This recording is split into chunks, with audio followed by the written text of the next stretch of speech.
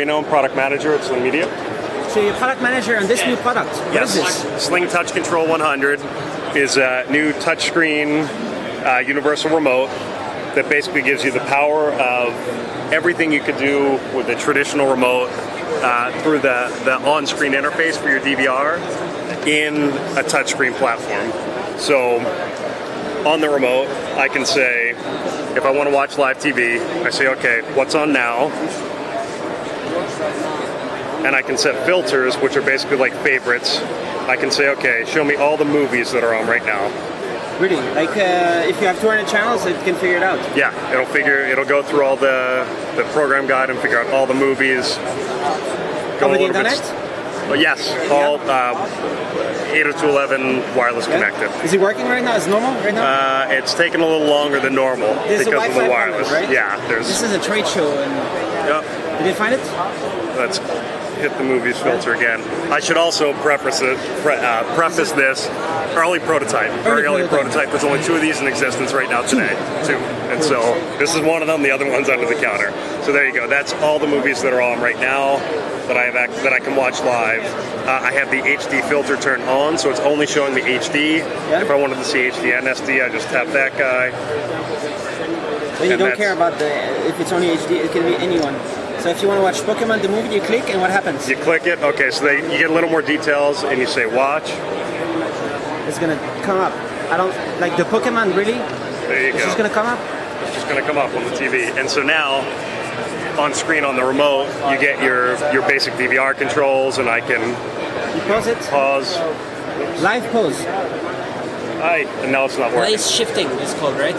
Yeah, there we go. Pause, hmm. Play. Uh, if you needed more of the, the controls for your traditional on-screen stuff, like if a message box popped up, for example, on the DVR, you can flip to a slightly different remote that gives you. These types of features, like uh, world's first. Uh, it is, uh, as far as I know, there's no device out there that does it today. Your ideas. Yes. Yeah. So we so we actually have a version of this, uh, the the user interface that runs on the iPod Touch today, and so uh, we took that and ported it to our own platform. The other thing that this remote does is full universal IR controls. So not only can I use it to control the DVR, but I can control my. Oops. Let me just cancel this. Pressing too many buttons here. So not only can I use it to control my DVR, uh, but I can also control the volume on my TV. If I have a Sony Blu-ray player, I can configure the remote to, to control the Sony player. So for example, I say, okay, I'm in my living room and I have a Sony Sony Blu-ray player, so I want to control my Sony device. Pops up an on-screen version of the actual Sony remote control, and so I can control all of my other So there's devices in this my AV limited amount well. of uh, different devices you can support, or Uh, no, there's there's tens of thousands of devices. Really? It's yeah, it's and it's it's connected to the web, and so it'll go out to the web and look for whatever device you tell it you have. If we don't have the the IR controls for it, you can learn new IR remotes. or Oh, you get your money back. or you get your money back. No, Sure. I don't know. But how about how about this? That's not up to us. What is uh, so you connect it there to charge? That's the charging dock, right? And you can actually use the remote while it's in the in the charging dock.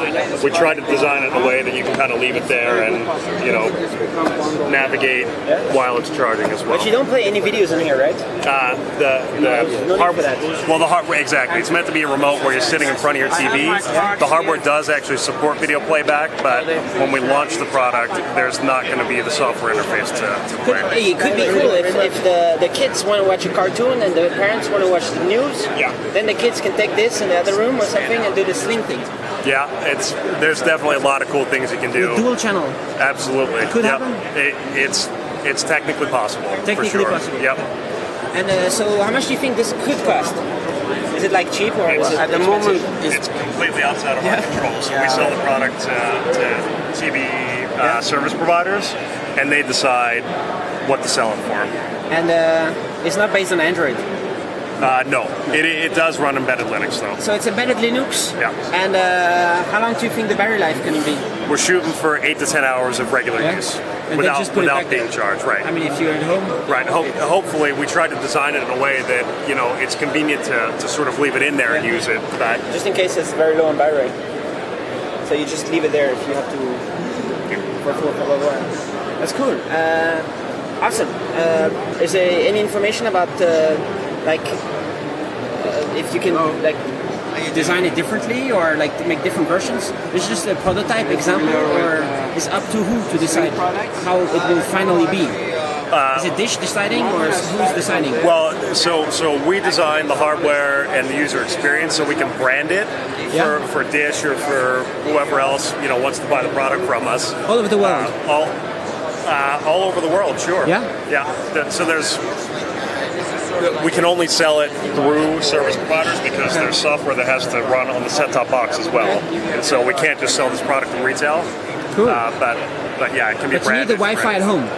Yes, You need Wi-Fi at home, and you, you type in the WPA password when you set it up, Yeah. for example, if Yeah. you need to, and stuff Uh, like that. And it, it- all the features that you have here are exactly the same as the iPod Touch. Do you have an Android app as well? The the universal IR control is Yeah. only here, but, but the features, and everything else, yeah. In fact, the iPod Touch, Does not have an IR, of course. right? It doesn't have IR, uh, but the iPod Touch, we actually had that app is done available now. We've had that out. Uh, we just launched in January. How many people are using the iPod Touch? Uh, I have no, it just launched January 4th, so I have three days. So there it is, and you just type in the password, whatever, and then, Yep. then it works. That's cool. Okay, thanks. thank you for.